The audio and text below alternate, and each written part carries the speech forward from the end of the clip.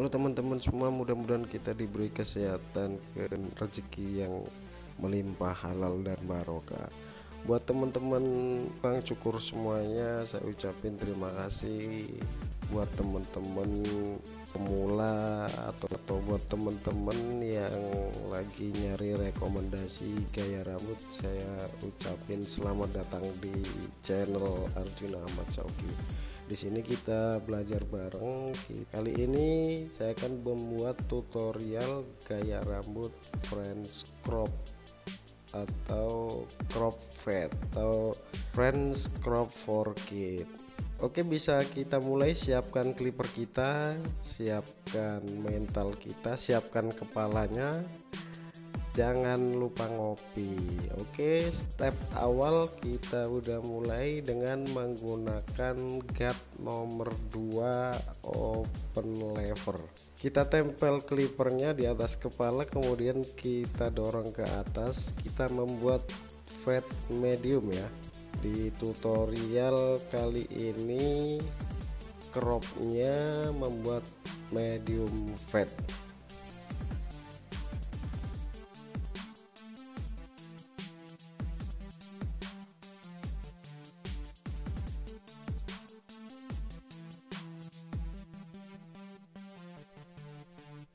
step selanjutnya kita bisa memakai guard nomor satu setengah open lever.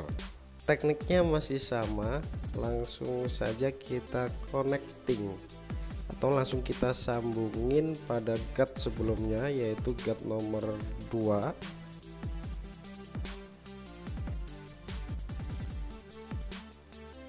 kita connecting langsung biar enggak ada garis.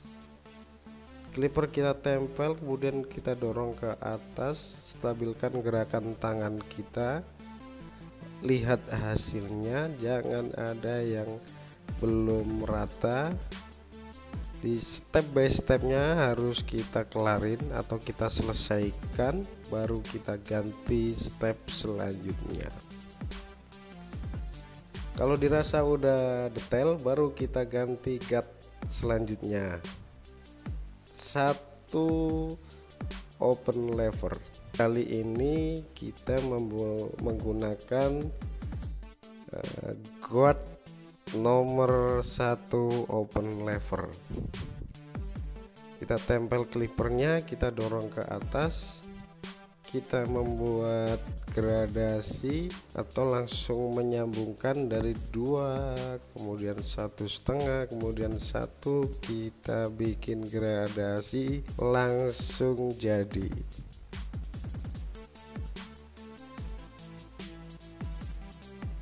Diusahakan jangan ada timbul garis.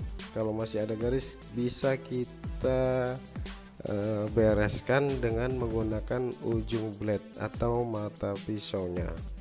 Pada posisi-posisi tertentu atau posisi yang cekung bisa kita gunakan ujung blade. Oke kita tempel clippernya. Kita lakukan seperti step sebelumnya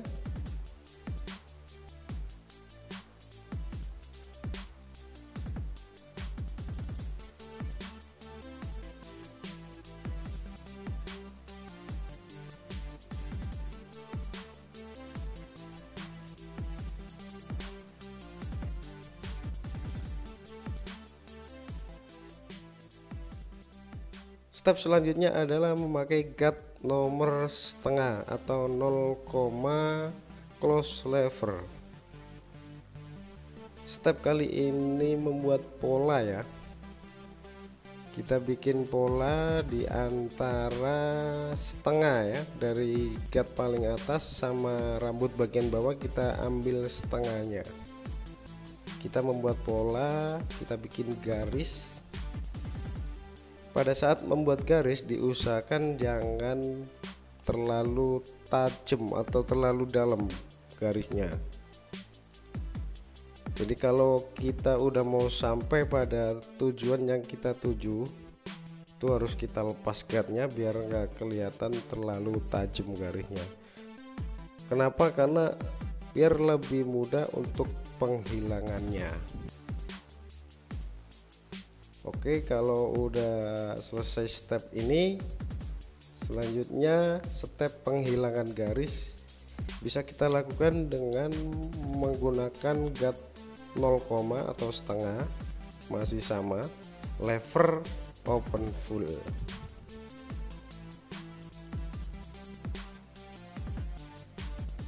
Pada open lever full bisa kita connecting sama gradasi sebelumnya. Tujuannya biar keadaan rambut udah semakin tipis. Jadi untuk menghilangkannya itu lebih mudah rambut pas tipis. Selanjutnya kalau masih ada timbul garis bisa kita hilangkan dengan opennya setengah atau open half lever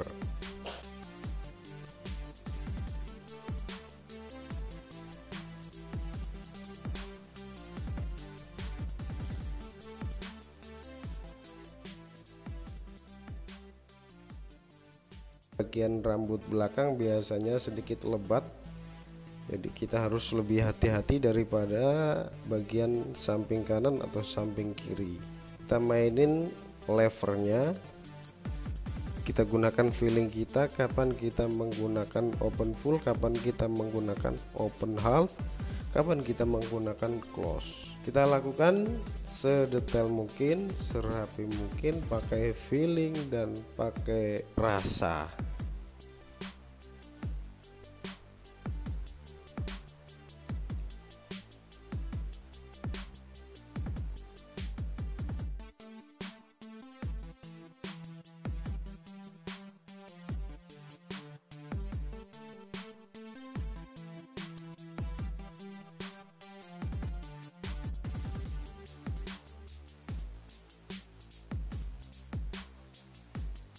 dan step selanjutnya adalah memakai no guard atau clipper tanpa sepatu.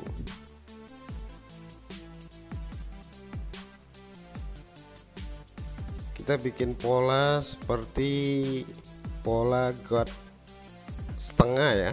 Kita close. Kita bikin pola di bawah guard nomor setengah yang kita buat di awal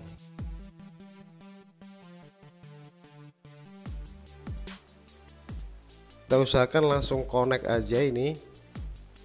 Digerakkan kita stabilkan. Kalau udah mau sampai baru kita lepas. Jadi biar langsung connect atau nyambung.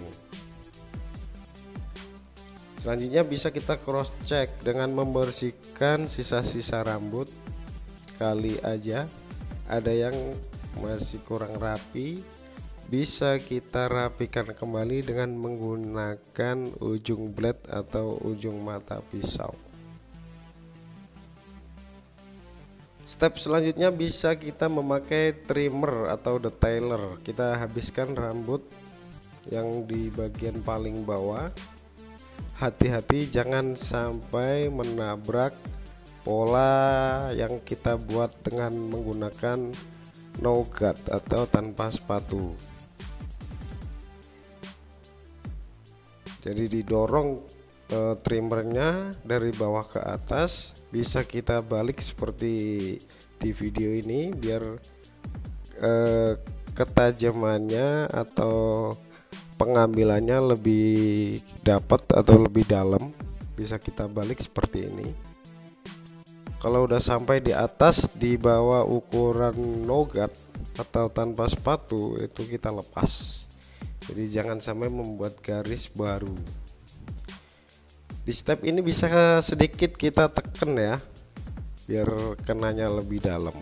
Tapi jangan terlalu keras nekennya nanti teriak-teriak customernya. Dinempel sedikit ditekan biar rambutnya maksimal kepotongnya Oke kita bersihkan ya. Kemudian step selanjutnya step perapian atau connecting rambut bagian atas dengan rambut bagian bawah atau gradasi yang kita buat. Karena customer ini jenis rambutnya masih tipis posisi rambutnya masih belum terlalu panjang. Jadi kali ini saya hanya menyukur dengan menggunakan thinning scissor atau gunting penipis. Jadi kita ambil ujung-ujungnya rambut. Kita ambil secara keseluruhan di semua bagian. Bisa kita ambil dari kiri ke kanan kemudian kanan ke kiri kemudian depan ke belakang. Harus kita ambil semua bagian rambut. Kita ambil ujung-ujungnya aja. Kalau misalnya kita ngambilnya 2 cm ya semuanya kita ambil 2 cm tapi di bagian paling bawah rambut paling bawah atau batas gradasi yang kita buat dengan rambut atas itu bisa kita uh, connecting atau kita sambungkan dengan menggunakan gunting seperti ini. Jadi kita sambungkan dulu biar enggak terkesan terlalu patah hasilnya antara batas gradasi dengan batas rambut yang atas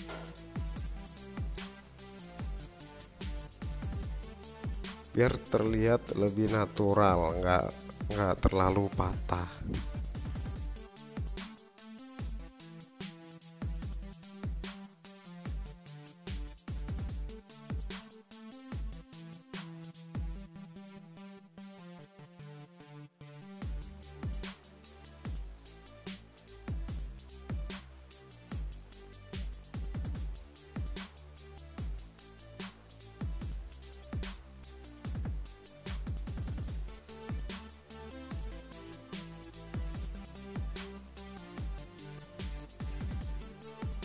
kemudian kita ambil dari depan ke belakang. Kita ambil ujung-ujungnya aja. Eh, pakai gunting penipis. Kita ambil sekitar 2 sentian lah. Atau dua kali guntingan. Semuanya kita ambil. Kemudian kita cross check rambut kita sisir ke depan kira-kira udah pas apa belum? Kira-kira masih ketebelan atau udah tipis? Bisa kita cross check kalau udah dirasa udah pas nggak ketebelan juga nggak ketipisan bisa kita crop di bagian depannya. Teknik crop itu harus diikutin sesuai dengan gradasi yang kita buat. Kita lurusin aja sama gradasi yang kita buat Oke. Saya rasa tutorialnya sampai di sini dulu. Terima kasih buat teman-teman yang udah nonton. Terima kasih buat teman-teman yang baru nonton. Jangan lupa di subscribe. Ini proses styling buat teman-teman yang nggak ada gunting te uh, sisir tekstur bisa menggunakan guard nomor 4 seperti yang di video ini ya. Oke, mudah-mudahan bermanfaat uh, silakan dipraktekin buat teman-teman yang pemula yang udah pro. Uh, kasih komen aja udah kasih masukannya. Dan buat teman-teman yang nyari inspirasi atau rekomendasi uh, ini bisa dipakai kayak rambut French cropnya. Bye bye